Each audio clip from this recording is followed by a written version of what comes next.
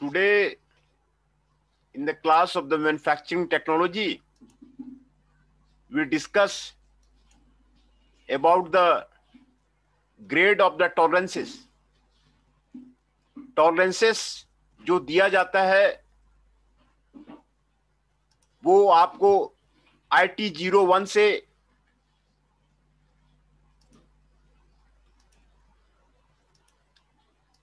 आई T sixteen तक दिया जाता है यहाँ पर आपको ग्रेड ऑफ द टॉलरेंस दिया है जैसे जैसे टॉलरेंस का ग्रेड आप अचीव करना चाहेंगे कॉस्ट आपका बढ़ जाएगा है ना तो grade is a measure of the magnitude of the tolerance lower the grade finer is the tolerance lower grade होता है तो टॉलरेंस आपको फाइनर होता है there are total 18 grades which are allocated to the number I T zero one से I T zero I T one I T two I T sixteen ये allocate किया जाता है fine grade are referred by the first few first few numbers as the numbers get larger so the tolerance zone become progressively wider selection of the grade depend on the different circumstances of the cost of the production as increases है ना तो ये आपको grade of the tolerance आपको यहाँ पे दिया गया है ये आपको टॉलरेंस ग्रेड आपको न्यूमिकली आपको डिटरमाइन किया जाता है इन स्टैंडर्ड टॉलरेंस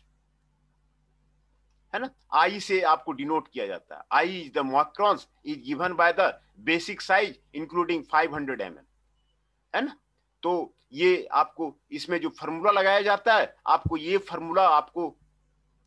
आई साई में आपको ये बताया गया है one two three 3 to 6 6 to 10 10 to uh, 18 18 to 30 30 to 50 है ना यहां से ये वैल्यू डी लेकर के the fundamental deviation of the shaft ये आपको लिखा जाता है minus sixteen D zero point four four minus eleven D zero point four one minus five five D zero point four one है ना तो ये फंडामेंटल डेविएशन जो आपको लिखा गया है इसका आपको ग्रेड यहां पर आपको बताया गया है और फंडामेंटल साफ्ट के लिए आपको plus sixteen D zero point four four eleven D zero point four one ये आपको दिया जाता है the relative magnitude of the grade यहाँ पर आपको बताया गया है tolerance grade I T five का सेवन आई है आई टी सिक्स का टेन आई है आई टी सेवन का सिक्सटीन आई है आई टी एट का ट्वेंटी फाइव आई है ये आपको ग्रेड आपको आई टी सिक्सटीन तक आपको बताया गया है है ना तो ये जैसे ten ten I T six करते हैं ना तो टेन के बाद मल्टीप्लाई टेन आई कर दिए हंड्रेड आई हो गया है ना तो एक प्रॉब्लम यहां पर आपको बताया गया है प्रॉब्लम को आप समझिए calculate the limit of tolerance and allowance for a 25 mm by H eight D nine take the fundamental deviation for the D deviation minus sixteen D zero point four four है ना तो tolerance on the soft आपको दिया गया है ये आपको upper limit minus lower limit है ना ट्वेंटी फोर हो गया और minus nine nine point six six हो गया the shaft limits are the two fifty point zero six one quality का साफ्ट आपको आई नाइन फोर्टी हो गया and the tolerance of the hole आपको twenty five point zero three point two five हो गया and the hole limits are the twenty five ये आपको numerical problem यहां पर आपको बताया गया है है ना ये होल का टॉलरेंस 25.033 हो गया ये होल का आपको साइज हो गया ये जो बेसिक साइज है 25 है ये आपको टॉलरेंस हो गया 0.33 है ना और ये आपको साफ का टॉलरेंस हो गया minus zero point six six four ये आपको साफ का टॉलरेंस हो गया zero point five two two और ये आपको 24.896 ये आपको जीरो लाइन है ये आपको बेसिक लाइन है है ना तो टॉलरेंस का आपको डिनोट करने का आपको फॉर्मूला आपको यही है है ना determine the tolerance on the hole and the shaft for precision running fit designated by the fifty H seven G six fifty M M lies between the thirty two fifty M M I micron zero point forty five D 1.3, 0.12. Fundamental deviation for the hull H equal to 0. Fundamental deviation of the G shaft minus two point five D zero point five I T seven का sixteen I हो गया I T I का ten आ गया state the actual maximum minimum size of the hole and shaft and maximum and minimum clearances ये आपको दिया हुआ है ये ये आपको डिटर्मिनेशन दिया हुआ है जो होल का आपको बेसिक साइज कितना था फिफ्टी का था ये बहुत ही आसान है फिफ्टी का बेसिक साइज था आपको hole tolerance zero point zero two five हुआ तो ये टॉलरेंस हो गया fifty point zero two five H seven hole आपको यहाँ पर मेंशन किया हुआ है एच सेवन होल का आपको मेंशन किया है एच सेवन होल के लिए ये आपको टॉलरेंस हो गया जी सिक्स साफ्ट मेंशन किया हुआ है जीरो लाइन तो आपको zero point one six shaft tolerance हो गया इसका जो इसका जीरो लाइन से आपको F D zero point zero nine हो गया तो आपको ये आपको four fourteen point nine nine one हो गया है ना ये forty nine point nine seven five M M हो गया ये आपको टॉलरेंस निकालने का आपको फार्मूला आपको दिया हुआ है इसी तरह ये फार्मूला आपको दिया हुआ है दूसरा है लिमिट गेजेज लिमिट गेजेज दो तरह का होता है go gauges and no gauge no go gauges है ना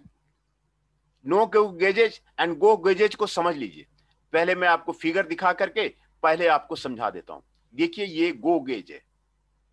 और ये no go gauge go gauge का मतलब है एक होल है है ना गो गेज किसी भी होल को चेक करने के लिए गेज बना दिया जाता है कि होल का डायमेंशन कितना है लोअर लिमिट कितना है तो वो उसमें अगर चला गया तो उसको बोलते हैं गो गेज है ना और अपर लिमिट में आपको बना दिया गया अपर लिमिट का टॉलरेंस में बना दिया गया तो वो वो जाएगा नहीं तो उसको बोलते हैं नो गो गेज इससे आपको क्लियर आपको पता चल जाएगा कि होल का जो साइज है इससे और इससे बीच में है ना होल का जो साइज है इससे इसके और इसके बीच में गो गेज आपको लोअर लिमिट के पास आपको रखेगा और no go gauge upper limit के पास रखेगा जो होल का साइज बनेगा दो आपको 100 पार्ट बना रहे हैं 100 parts you are making 100 part में आपको जब चेक करना है तो गो गेज ले जाइए नो गो गेज ले जाइए आपको पता चल जाएगा आपको मेजर करने का जरूरत नहीं है यही गो गेज का नो गेज का आपको बेनिफिट है आपको मीजर करने का जरूरत नहीं है ये देखिए आपको दिखाया जा रहा है ये गो गेज है ये नो गो गेज है है ना तो ये आपको सिलिंड्रिकल प्लक्स ये हैंडल आपको दिखाया जा रहा है ये गो गेज है ये नो गो गेज है है ना तो एक बार डबल इंडेड प्लग गेज आपको दिखाया गया गो गेज नो गेज इससे इससे आपको जो है डायमेंशन चेक करने में आपको जो है बेनिफिट होता है कि आपको डायमेंशन आपको चेक हो जाता है आपको मेजर करने का जरूरत नहीं है ये आपको ये ये ये आपको गो गेज और द, और द नो गो गेज है है ना A go or no gauge refers to an inspection tool used to check a workpiece against its allowance tolerance its It derives its name from its use. The gauge has two sets. The check involves the workpiece have to pass out, pass one test, go, and fails the other, no go. Go से pass one test हो जाता है और दूसरे से fail the other no go हो जाता है. It is an integral part of the quality process that is used in the manufacturing industry. Manufacturing industry में इसको use किया जाता है. गो गेज बना लिया गया नो गेज बना लिया गया और इसी से जो है आपको मीजर करने की जरूरत नहीं है उसने चेक कर लिया गो गेज डाला नो गेज डाला उससे पता चल गया कि इसका जो इसका जो होल है इसका जो साफ्ट है वो वो कितना है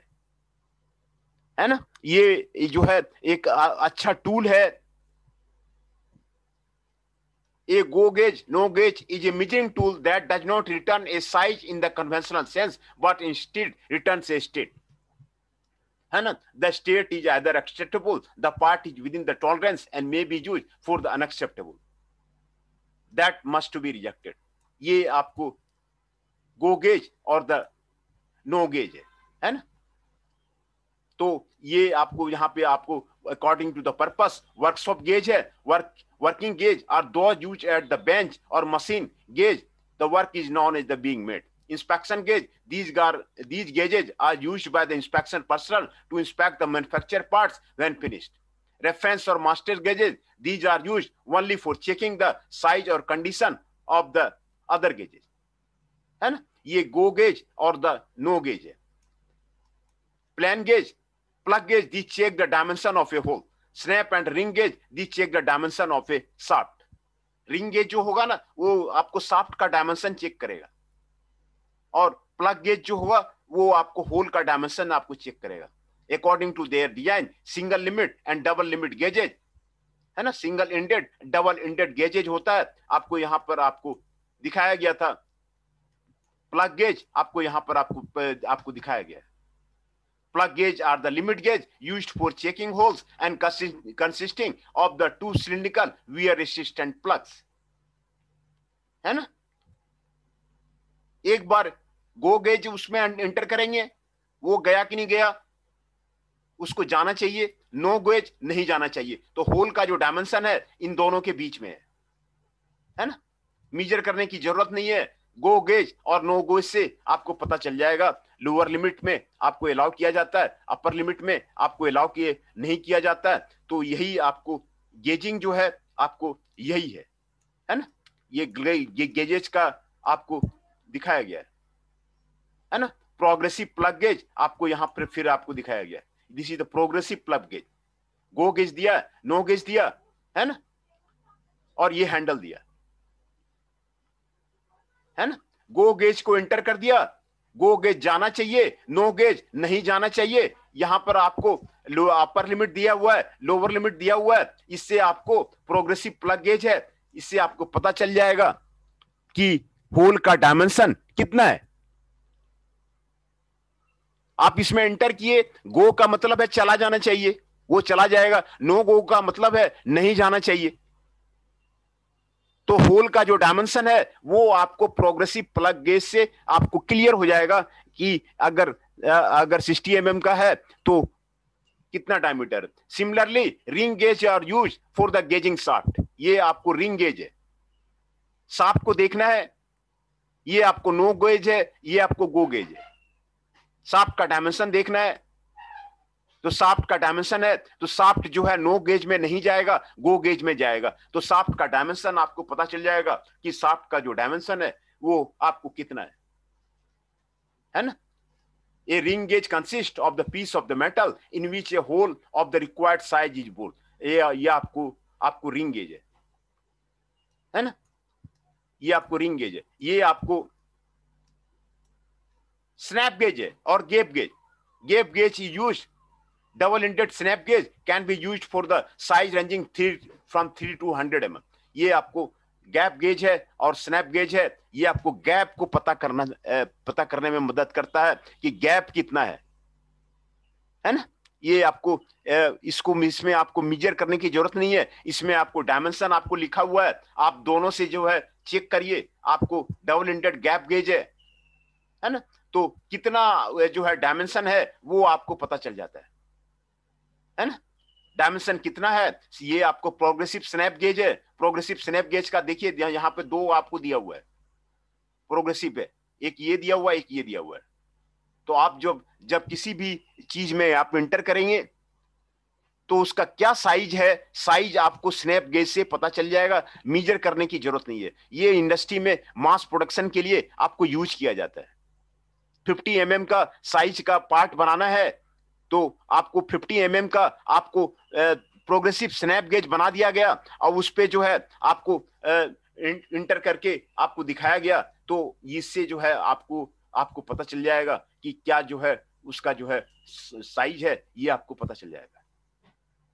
है ना desirable property of the gauge material essential current consideration in selection of the material gauges are hardness to resist wear stability to progress size and the shape corrosion resistance ये होना चाहिए उसकी desirable property of the gauge material machinability for obtaining the required degree of the accuracy low coefficient of friction of expansion to avoid the temperature effect ये जो है desirable property of the gauge material आपको समझ में आना चाहिए gauge आपको समझ में आ गया क्लियर हो गया कि डबल एंडेड गेज है ये आपको साइज चेक करता है साइज चेक करता है this is the used for checking the size material used for the gadget high carbon steel heated treated cast steel is commonly used for most of the gadget mild steel case harden on the working face it is stable and easily machinable case hardened steel used for small and medium size gadget chromium plated and hard alloy. Chromium plating imparts hardness resistant to abrasion and the corrosion. Hard alloys of the tungsten carbide may be also used. Cast iron used for the body of the frames of the large gauges whose working surface are hard insert of the tool steel or the cemented carbides. And ये सारे material high carbon steel, mild steel, case hardened steel, chromium plated and hard alloy, cast iron, glass ये सारे जो हैं आपको gauge का material है ये आपको यूज किया जाता है the are the material invar invar भी यूज किया जाता है it is a nickel uranium iron alloy thirty percent nickel which as a low coefficient of expansion but not suitable for यूजगेज of the over longer period invar है ना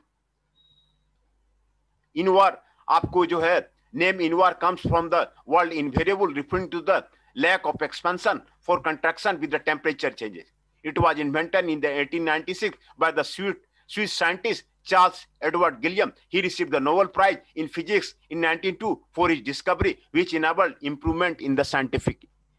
instruments. Invar की खोज पे Nobel prize 1922 में physics में आपको दिया गया था इन वार की ये प्रॉपर्टी है कि ये low coefficient of the expansion है and not suitable for the use over the longer period है ना नी इनवार पे खोज पे स्विस के साइंटिस्ट को नोबल प्राइज मिला हुआ था it is a nickel iron alloy six percent इसमें आपको निकल रहता है है ना तो ये आपको गो गेज नो गेज है Taylor's principle for the gauge design according to the Taylor go and no gauge should be design to check the maximum and the minimum material limit which are check as below है ना यहां पर आपको फिर आपको दिखाया गया है go snap gauge no go snap gauge है ना ये गो स्नैप गेज इसमें जाना चाहिए नो गो स्नैप गेज इसमें नहीं जाना चाहिए इससे डायमेंशन आपको पता चल जाएगा है ना गो प्लग गेज और नो गो प्लग गेज इससे इससे जो है होल का डायमेंशन पता चल जाएगा इससे साफ्ट का डायमेंशन आपको पता चल जाएगा the go limit the designation is applied to that limit of the two limits of the size which correspond to the maximum material condition upper limit of the shaft and the lower limit of the hole the go goes should be of the full form are they should check as well size है ना ये आपको form भी check करेगा और size भी check करेगा go limit and no go limit the degeneration is applied to that limit of the two limits of the size which correspond to the minimum material condition i the lower limit of the shaft and the upper limit of the hole and no go no go gauge should check only one part or feature of the component at a time so that the specific discrepancy in shape or size can be detected thus a separate no go gauge is required for is different individual dimension है ना ये गो snap gauge आपको यहां पे दिखाया हुआ है no go snap gauge आपको दिखाया हुआ है टॉलरेंस जोन आपको ये है इससे ये जो साफ्ट है इसका आपको डायमेंशन आपको पता चल जाएगा गो गेज आपको जाना चाहिए नो गेज में नहीं जाना चाहिए ये जो आपका जो टॉलरेंस दिया हुआ है जो ड्राइंग में टॉलरेंस दिया हुआ है वो टॉलरेंस आपको यहां से पता चल जाता है कि ये पार्ट आपको एक्सेप्ट करेगा कि नहीं करेगा इसीलिए इंडस्ट्री में आपको इसका इसका जो है बहुत ज्यादा यूज होता है आपको एक ही पार्ट निकालना है एक ही साइज का निकालना है साफ निकालना है तो ये आपको ये दोनों लगा के देख लिया तो उसका साइज आपको पता चल गया है ना लोअर लिमिट पता चल गया अपर लिमिट पता चल गया तो उसी उसी टॉलरेंस में आपको जो है पार्ट्स आपको निकालना है सिमिलरली यहाँ पर अगर कोई होल बन रहा है तो गो प्लग गेज ले लेंगे go no go plug gauge ले लेंगे उससे जो है जो है इसका डायमेंशन आपको पता चले जाएगा कि आपको क्या साइज का होल बना हुआ है है ना आपको मीजर करने की जरूरत नहीं है मीजर करने की जरूरत नहीं है गो प्लग गेज लगा दिया फिर उसके बाद नो प्लग गेज लगा दिया है ना तो उसका जो पता चल गया कि आपको इस डायमेंशन का आपको होल बना हुआ है है ना तो ये आपको यहां पर आपको यहां पर आपको बताया गया है a go gauge must check the dimension as well a form perpendicularity to the slot at at once hence go go must shown in the fig in the figure on the right ये आपको दिखाया गया है ना no go gauge आपको यहां पे दिखाया गया हाइट एंड विथ है ना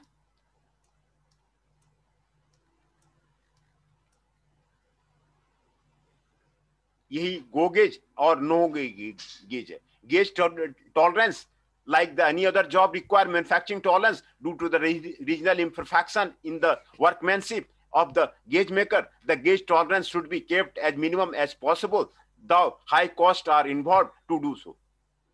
and wear uh, tall uh, wear allowance though go gauge only subject to the wear due to the, due to the rubbing against the parts during the inspection है ना ये आपको veering tolerance आपको यहाँ पर आपको दिखाया गया go no go plug gauge यहाँ पर आपको दिखाया गया go gauge and the no gauge goes tolerance wear tolerance direction of the wear ये आपको यहाँ पे सिस्टम आपको दिखाया गया है ना तो आज यही गो गेज और नो गेज तक रहने देते हैं गेज टॉलरेंस ये आपको फिगर से आपको क्लियर हो जाता है यहां पर कि गो लिमिट क्या है नो गो लिमिट क्या है है ना लिमिट्स फिट्स टॉलरेंस में आपको यही आपको आपको पढ़ना है पहले मैं आपको अटेंडेंस ले लेता हूं आज स्टूडेंट भी कम है तो आज मैं अटेंडेंस ले लेता हूं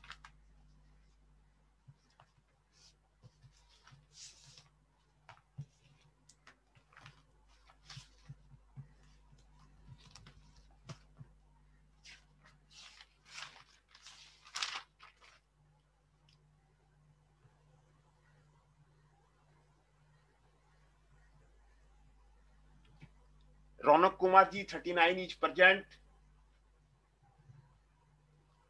Dipanshu Chaudhary, 12 is present. Ankit Sharma ji, 6 is present. Hirdesh ji, 19 is present.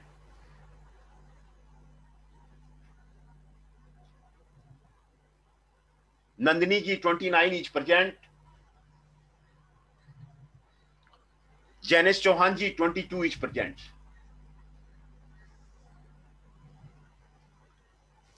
मैं फिर से अटेंडेंस बोल देता हूं Janis Chauhan ji 22 is present Nandini ji 29 is present Hirdesh ji 19 is present Ankit Sharma ji 6 is present Deepanshu Chaudhary ji 12 is present and Raunak Kumar ji 39 is present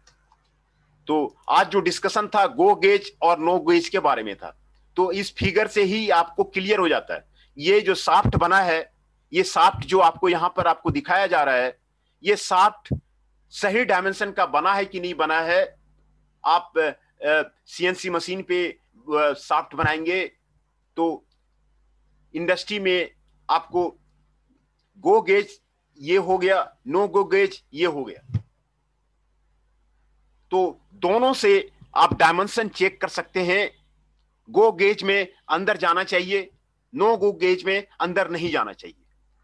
है ना तो इससे जो है आपको पता चल जाएगा जो पार्ट बना हुआ है जो साफ्ट बना हुआ है वो आपको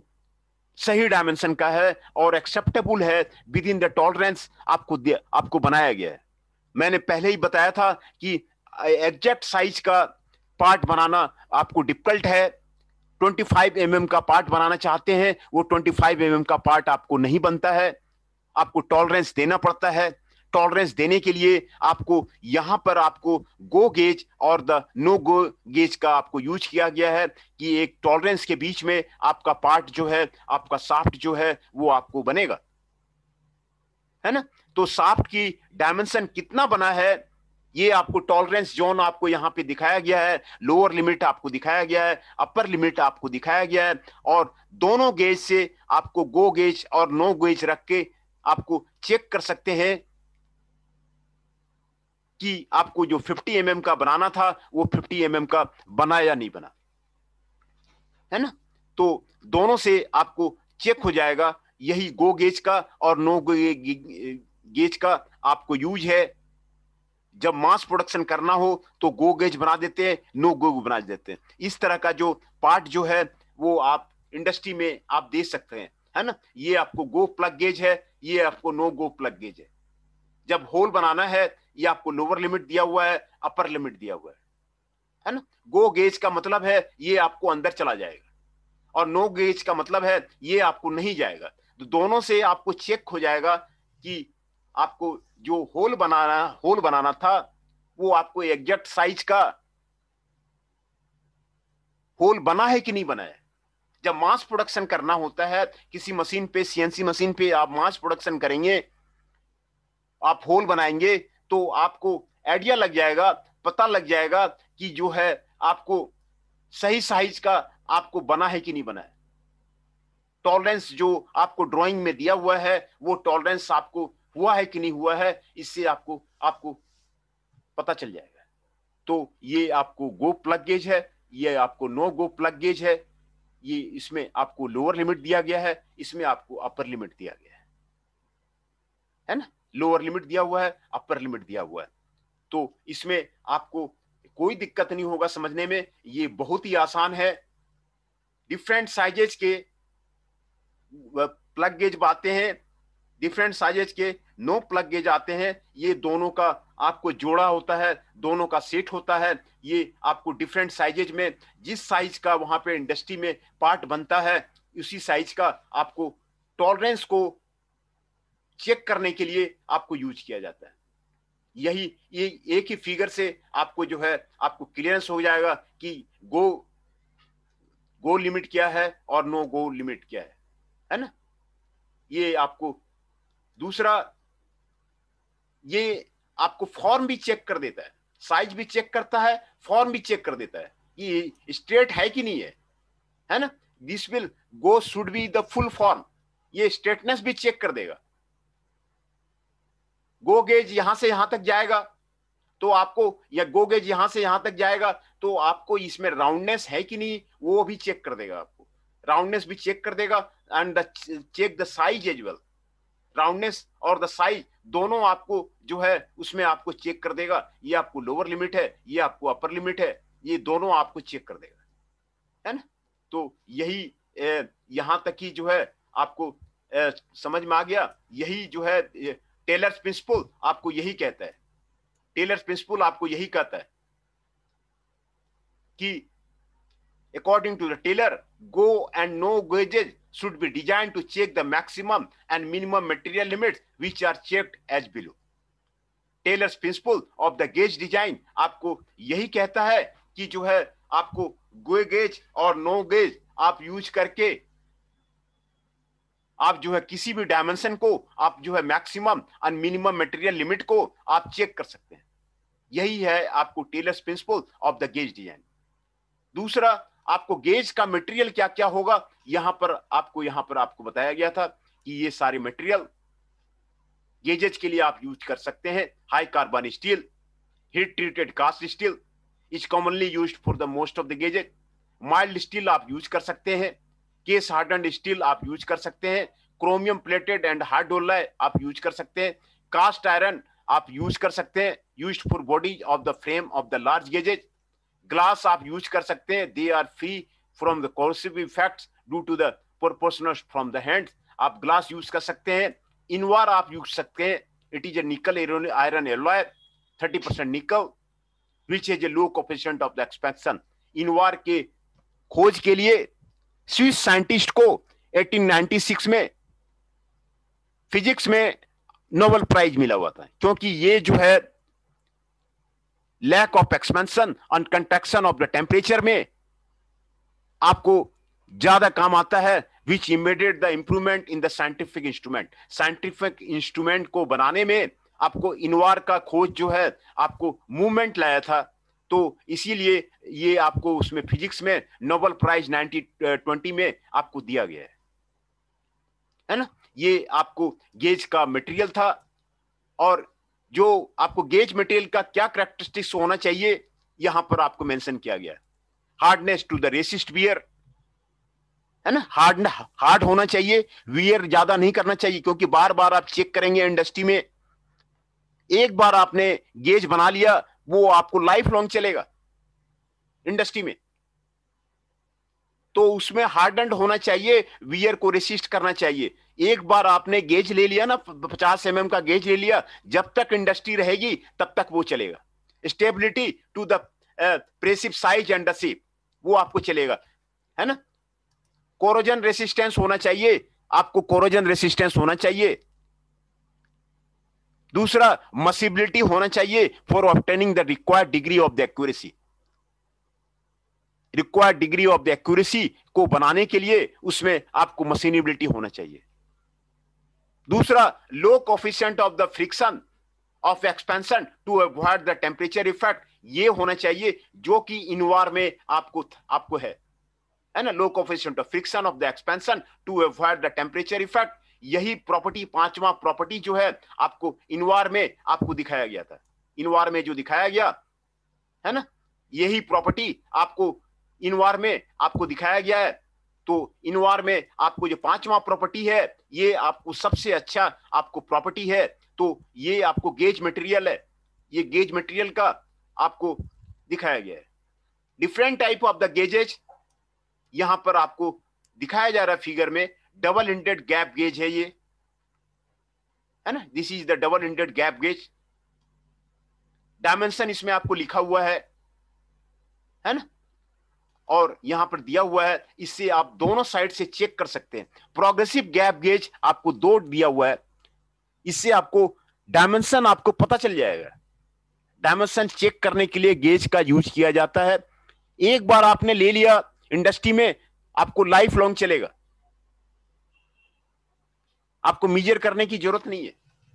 इंडस्ट्री में मीजर नहीं किया जाता है ये ये गेज बना लिया गया गेज बना लिया गया मशीन पे रख दिया गया और वहां पे चेक कर लिया गया वेरी बहुत ही अच्छा है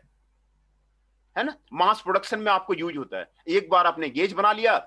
उससे आपको किसी भी मटेरियल का किसी भी कंपोनेंट का जो मशीन में बन रहा है आसानी से आपको चेक हो जाता है कि उसका डायमेंशन क्या है है ना ये प्रोग्रेसिव गैप गैप गेज है दूसरा यहां भी आपको दिखाया गया रिंग गेज रिंग गेज आपको दिखाया गया है देखिए आपको यहाँ पे लिखा हुआ है twenty one S seven twenty one S seven size आपको लिखा हुआ है है ना ट्वेंटी वन एस सेवन इससे जो है साफ्ट का डायमीटर चेक करने के लिए रिंग गेज का यूज किया जाता है a ring gauge consist of the piece of the metal in which a hole required size is bored ये आपको रिंग गेज है दो आप रिंग गेज बना लेंगे ना तो आपको जो साफ्ट का जो साइज है वो आपको गो गेज और नो गो गो गेज से आपको पता चल जाएगा कि साफ्ट का साइज जो है वो आपको सही बन रहा है नहीं बन रहा है ये आपको रिंग गेज है ring gauge are use for the gauging the shaft shaft को गेजिंग करने के लिए आपको यूज किया जाता है है ना साफ्ट को गेजिंग के लिए आपको यूज किया जाता है and they are used in the similar manner so that the go and no plug gauges are used hai na ye सारी चीजें आपको लेबोरेटरी में वर्कशॉप में आपको होना चाहिए जिससे कि प्रैक्टिकली हम चेक करके पता कर सकें कि ये आपको है कि नहीं ये आपको रिंग गेज है है ना जो साफ्ट का आपको use for gauging shaft shaft को गेजिंग के लिए आपको यूज किया जाता है है ना साफ्ट को गेजिंग के लिए आपको यूज किया जाता है ये आपको प्रोग्रेसिव प्लग गेज है आपको फिगर से ही सेल्फ एक्सप्लेनिटी है गो का मतलब है होल के अंदर चला जाना चाहिए नो गो का मतलब है होल के अंदर नहीं जाना चाहिए है ना तो वो पार्ट आपको सही बना हुआ है है ना अगर वो नो गो के अंदर भी जा रहा है इसका मतलब है कि वो पार्ट डायमेंशन से बड़ा बन गया है गो में भी जा रहा है नो गो में भी जा रहा है इसका मतलब है कि पार्ट का जो होल है आपको ज्यादा बड़ा बन गया है साइज बड़ा बन गया है वो आपको रिजेक्ट हो जाएगा गो भी नहीं जा रहा है इसका मतलब जो है डायमेंशन से छोटा हो गया है जो ड्राइंग दिया हुआ है उससे छोटा हो गया है वो पार्ट आपको रिजेक्ट हो जाएगा वो पार्ट एक्सेप्ट नहीं होगा हैंस जो पार्ट एक्सेप्टेबल है आपको दोनों के बीच में आपको इसी प्रोग्रेसिव प्लग गेज से आपको होल का आपको पता चल जाएगा ये आपको प्रोग्रेसिव प्लग गेज है इससे आपको पता चल जाएगा गो में नहीं जा रहा है इसका मतलब जो रिक्वायर्ड डायमेंशन दिया हुआ है उससे छोटा है नो गो में चला जा रहा है इसका मतलब है जो डायमेंशन दिया हुआ है उससे बड़ा है आपको रिजेक्ट हो जाएगा है ना वही पार्ट एक्सेप्ट होगा जो गो में जाता है और नो गो में नहीं जाता है है ना तो ये आपको प्रोग्रेसिव ब्लड गेज है ये आपको टॉलरेंस के लिए आपको यूज होता है आपको यहाँ पर प्रोग्रेसिव प्लग गेज आपको दिखाया गया है डबल इंडेड प्लग गेज ये आपको आप, आपको दिखाया गया है सिलिंड्रिकल प्लग गेज गो और ये बीच में हैंडल है आपको नो गो दोनों साइड से चेक करके आपको बताता है है ना यहां पर देखिए 12.60 point six zero twelve point nine zero M M है ना ये आपको ग्रीन वाला आपको गो है और ये वाला रे, रेड वाला नो गो है आप एक साइड से आप अंदर ले जाएंगे दूसरे साइड से अंदर ले जाएंगे आपको 12.6 एमएम से 12.9 एमएम के बीच का जो डायमेंशन है वो आपको होल आपको मिल जाएगा है ना ये आपको यहाँ पर आपको दिखाया गया डबल इंडेड गेज आपको यहाँ पर आपको दिखाया जा रहा है डबल इंडेड गेज है ना बहुत ही आसान है समझना यहां भी वही कॉन्सेप्ट दिया हुआ है गो गेज का नो गेज का ये आपको लोअर लिमिट है ये आपको अपर लिमिट है ये आपको टॉलरेंस है है ना तो today we have studied about the go gauge and the plug gauges limiting gauges है ना limit gauging is adapted for the checking part produced by the mass production जब मास प्रोडक्शन करना हो ना मास प्रोडक्शन बड़ी बड़ी कंपनियां Unilever वगैरह करती है मास प्रोडक्शन करके 140 कंट्री में अपना सामान भेजती है तो मास प्रोडक्शन में करने में आपको गेजिंग का यूज गेज बना लिया एक बार वो आपको चलता रहेगा मेजरमेंट की कोई जरूरत ही नहीं है एक ही पार्ट को बार बार बनना है तो ये it has the advantage that they can be used by the unskilled person unskilled person भी यूज कर सकता है मीजरमेंट की जरूरत ही नहीं है भर्नियर कैलिपर लेंगे ये लेंगे वो लेंगे में उसमें एक्यूरेसी मीजर करना पड़ता है आपको ये निकालना है वो निकालना है इसमें कुछ नहीं है लिमिट गेजिंग का फायदा यही है कि आप उधर से चेक कर सकते हैं institute of the measuring the actual dimension the conformance of the product with the tolerance space space can be checked by the go and no go gauges है ना आपको institute of the measuring the actual dimension actual dimension को आपको major नहीं करना है और आपको कंफॉर्मेंस ऑफ द प्रोडक्ट आपको गो गेज से आपको नो गो गेज से आपको क्लियर हो जाता है ये आपको लिमिट गेजिंग था है ना ये आपको लिमिट गेजिंग और ऊपर में आपको ये पर्पस बताया गया है कि कितने तरह आपका गेज होता है जो वर्कशॉप में यूज होता है है ना जो बेंच में और मशीन में यूज की होता है उसको वर्कशॉप गेज बोलते हैं जो इंस्पेक्शन के लिए यूज होता है उसको इंस्पेक्शन गेज बोलते हैं जो मास्टर रेफरेंस के लिए यूज होता है checking the size of the condition of the other gauges use होता है रेफरेंस और मास्टर गेज बोलते हैं है ना तो ये, ये आपको कितने तरह का गेज होगा तो ये आपको यहाँ पर आपको बताया गया है वर्कशॉप गेज है इंस्पेक्शन गेज है रेफरेंस और मास्टर गेज है ये आपको बताया गया है according to the form of the tested surface plug gauge to check the dimension of a hole snap gauge ring gauge the check of a dimension of a shaft है ना plug gauge जो है dimension of a hole check करता है snap gauge ring gauge आपको dimension of a shaft check करता है है ना according to the design single limit double limit gauges बोलते हैं single ended double ended gauge बोलते हैं आपको single ended and double ended gauge आपको यहां पर आपको दिखाया गया है ये आपको डबल इंडेड गेज है है ना ये आपको डबल इंडेड गेज है सिंगल इंडेड में आपको एक ही इंड में आपको रहेगा ये आपको लिमिट गेजिंग आपको यही है यही आपको लिमिट गेजिंग का मतलब आपको है ना लिक्विड लिमिट गेजेज आपको ये प्लेन गेजेस आपको यही है है ना plain gauges are used for checking plain holes and the shaft plain holes और साफ्ट को चेक करने के लिए आपको इंडस्ट्री में आपको यूज किया जाता है gauges are inspection tool which serve to check the dimension of the manufacture part कोई भी मैन्युफैक्चर पार्ट बनता है इंडस्ट्री में तो ये इंस्पेक्शन के लिए यूज किया जाता है इसको अनस्किल्ड लेबर भी वर्कर भी आपको जो है चेक कर देगा पता कर जाएगा इसमें सुपरवाइजर को आने की चेक करने की कोई जरूरत नहीं है मेजरमेंट की कोई जरूरत नहीं है है ना